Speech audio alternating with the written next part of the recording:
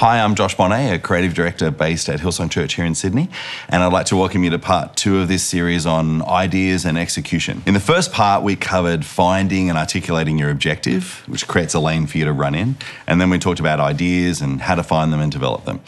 Now, I'd like to move on to talking about successfully pitching your ideas and start the conversation about execution and excellence. So, the pitch when you work in a team and there's an idea to be had and then executed, there's definitely going to be stakeholders that need to greenlight that idea. You'll need to convince someone to invest in you or invest in that idea. Time, resources, space on the run sheet and the platform, all those things hold great value and they're not given away lightly. When it comes to the pitch, what's more important, the idea or the person sort of selling it, I suppose, or, or pitching it? It's kind of both. But if you don't pitch an idea well, it, it, usually won't get a green light. If we jump out of the church and ministry world for a bit and jump into the world of advertising, people refer to an elevator pitch. So you have to imagine you're in the elevator, the boss gets in uh, with you on level one, you've got a couple of floors before she gets out.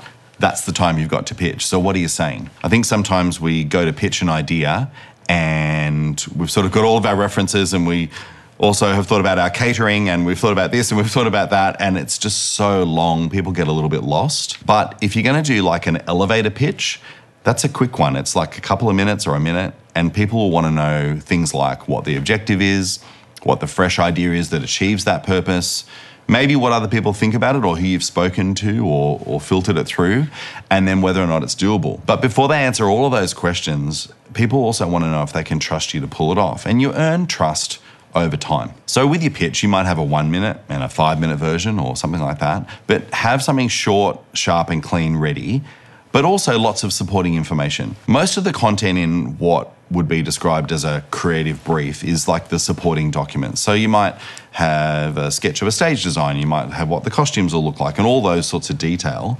But first of all, you just need to actually pitch the idea. So be confident, understand who you're talking to, and also what's important to them. You don't need to unfold all of the giant amount of detail until you've got them on board with the idea. If someone was pitching for me, just like, I'm not going to buy an idea because I like the way you've considered your occupational health and safety issues around your event or your beautiful catering budget or all of that sort of stuff. I'm going to I'm going to buy it or I'm going to uh, say yes to it if I feel like it's going to work for me and the purposes of the event we're trying to, a vision we're trying to achieve, and if I feel like I can trust you to pull it off. When we're pitching, be ready to have your idea challenged. Like if someone asks you one or two curly questions or basic questions about execution and delivery and they catch you off guard with that because you haven't thought of it, that's a shame because it might be a great idea, but they're just not sure how you'll pull it off. So they're looking for how can we, uh, is this going to be a guaranteed outcome?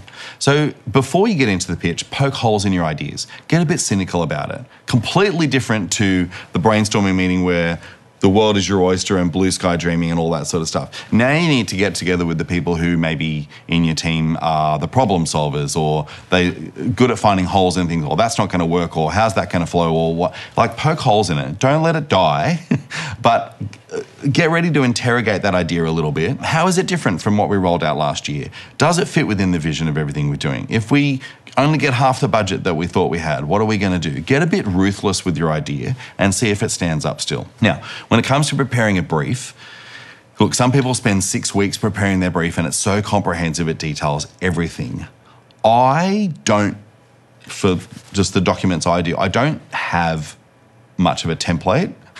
Which might not be very helpful, but I like to fit the documents for purpose. So let's say I'm pitching something to my leader, Cass Langton. Sometimes it's verbal, sometimes it's with a few fun images. Other times it's a fully fledged script document. It depends on what the event is and what I think we've found out in advance that she might be looking for. But I'd rather pitch with one or two killer images and a great understanding of how the event fits the purpose that she's looking for than detail it all in an email and read it all out and there's budgets and everything. I like pitching and I like being excited about an idea and getting someone else to be excited about it. I feel really excited when an idea I know is going to fulfill the objective and that's that's what I feel is there's the clincher. If you can walk in the door and say, hey, you said you wanted to achieve this. We've got these two or three ideas. I think it's going to be really great. And we've worked out it's doable. Are you on board? And once you get that initial yes or that initial green light, then you can go more into development. I have been known to break all the rules and do a pre pitch where I get an idea and then I just get really excited and I ring everyone involved before the actual pitching meeting, but that's okay. just break the rules a bit, can't help it.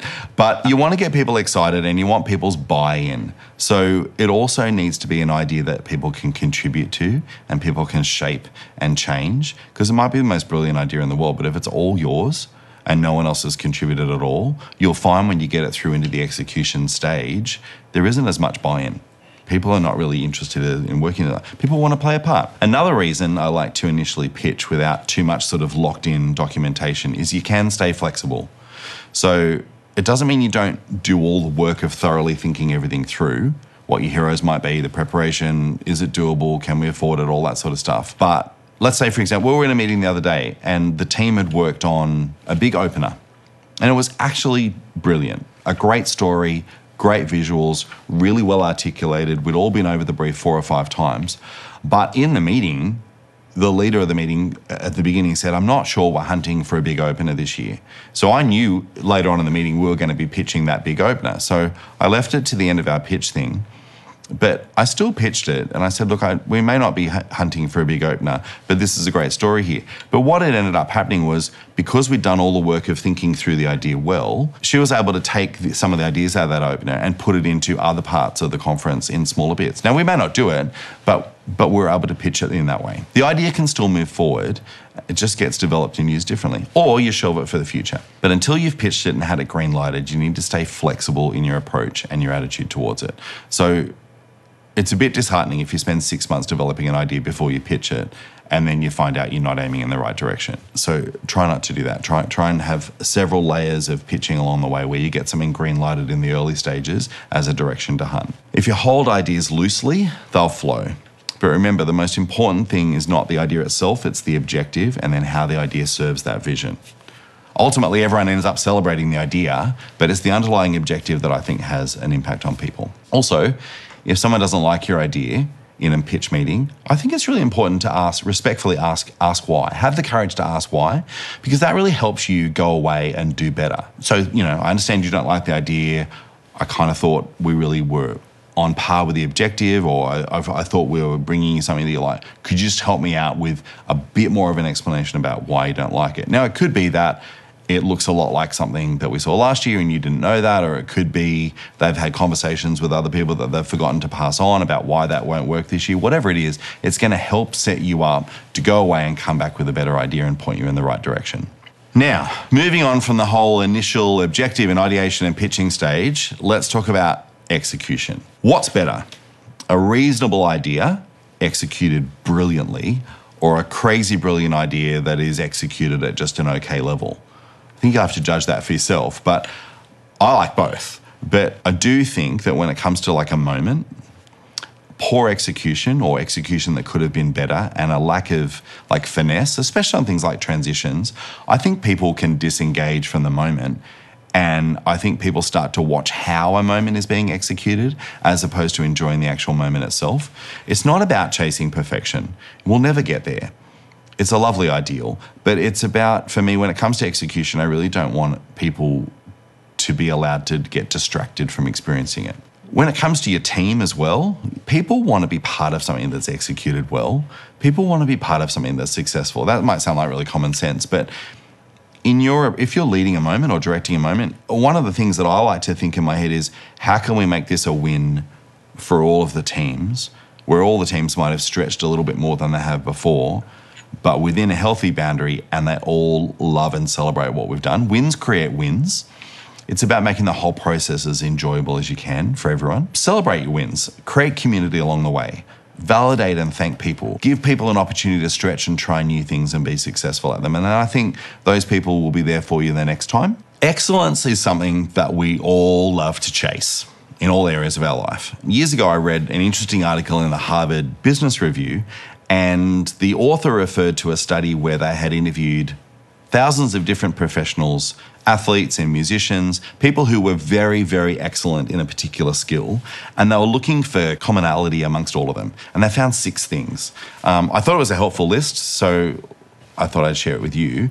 The first key that they identified to being excellent at something is to pursue what you love. The second one would be do the hardest work first. I thought that was interesting when it comes to creatives, and I guess with a creative director or producer hat on, sometimes when we start out trying to direct a moment, we probably come at it with one or two special skills that we've had as an individual creative. So, for example, you might be a vocalist or a dancer or lighting, or you might be great at making costumes or a musician. When you come to direct a moment or when you come to be involved in producing a piece of creativity, it's tempting to do the easiest stuff. So if I know music really well and if I know vocals really well, I might go there first. I might put lots of my energy into that side of things. But that can mean that you leave other teams without direction or input or without guideposts to go on. So, for example, dancers, if you think, oh, that's a foreign language to me, you might just sort of leave them to it. But they, they'll need direction, they'll need guideposts from you as well if you're directing a moment. And so, do the hardest work first. I think that applies in, in that area for us. I kind of would force myself when first starting out to.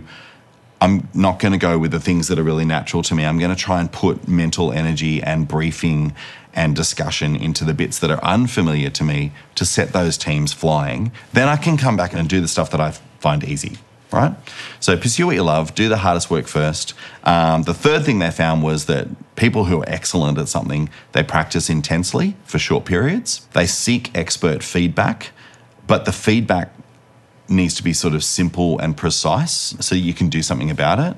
Uh, they take regular breaks and they ritualize practice, is the last one. And I thought this one was interesting as well. The author described that will and discipline and self control are kind of wildly overrated. And when you're talking about Olympic athletes that you sort of think, oh, they all get up at 4 a.m. every morning, they must have so much discipline and so much will. In their investigations with people, they kind of figured out it's not so much that, it's that they've put rituals in their life that keep them on track. So I wonder for us as creatives, what can we do to counteract maybe our lack of will or lack of discipline. And I'm not saying creatives have less of that stuff than anyone else. I'm just saying I know myself. If I need to get something done, the best thing I can do is just create a moment in my day every day where I work on it. There's a difference between excellence and perfection. And, you know, I am a bit of a perfectionist. I know that about myself. But I think a perfect moment, you can spend your life chasing that and you're never going to get there. But excellence is when you tick the box. And something I've learned to do over the years is when you've worked on making a moment, you get it the best you can in rehearsals, or you're about to send the film out, or whatever the piece of creativity is, you just have to let it go and let it achieve what it needs to achieve. And if it's not as perfect as it could have been, but it still ticks the box on the objective, celebrate that.